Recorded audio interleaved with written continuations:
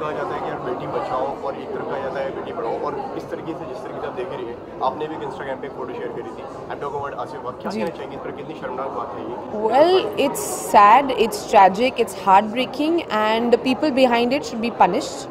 And I think एक आठ साल की बच्ची को एज ए सोसाइटी अगर हम प्रोटेक्ट नहीं कर सकते हैं तो बहुत शर्म की बात है। एंड बहुत सारे लोग इसको पॉलिटिकल बना रहे हैं। I feel very upset about that also I think इसको यू नो छोटी बच्चियों को लेके और ख़ासकर उनके साथ जो रेप हुआ उसको लेके you should not make it political I think justice is is what we should be fighting for and arguing about not about making the issue political that's what I think well it's sad it's tragic it's heartbreaking and people behind it should be punished and I think एक आठ साल की बच्ची को as a society अगर हम protect नहीं कर सकते हैं तो बहुत शर्म की बात है। एंड बहुत सारे लोग इसको पोलिटिकल बना रहे हैं.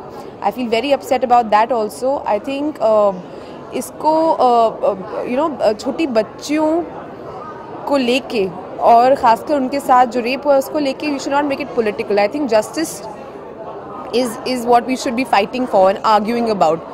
Not about making the issue political. That's what i think.